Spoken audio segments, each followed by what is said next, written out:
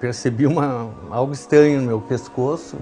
Começou a surgir um carocinho, parecia insignificante, mas de forma muito rápida, assim, em questão de dois meses já era uma coisa saliente. Eu cheguei num médico, um cirurgião de cabeça e pescoço, e ele falou: Alexandre, isso é muito grave.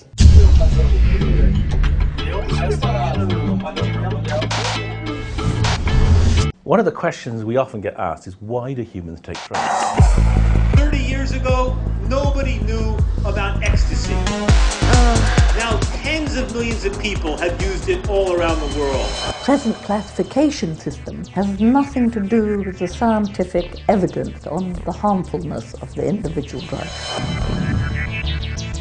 We cultivate cannabis. A maconha tem efeitos medicinais muito claros. A maconha era uma planta econômica, talvez a mais importante da história. I'm a recovering junkie. I've been clean now for 13 years, so marijuana helped me survive. A ideia de que a gente vai proibir os outros de fazer aquilo que nós achamos que é ruim para eles, ela é muito perigosa, porque no limite essa proibição ela vira uma repressão.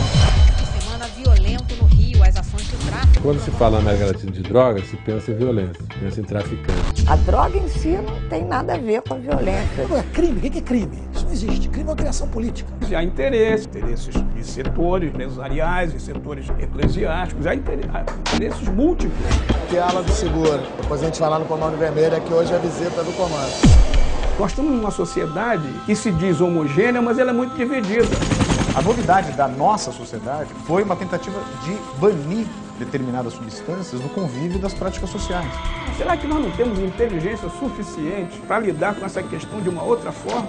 O político normal não tem essa visão, tem a visão do imediato. Do imediato ele pensa que perde voto. Para essa sociedade se curar desses males, é, não vai ser necessário mais canhão, mais helicóptero, mais bazuca, vai ser necessário mais informação.